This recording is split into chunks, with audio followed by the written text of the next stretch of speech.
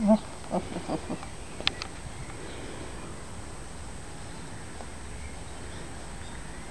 heb mijn eigen boot, voor eh, boot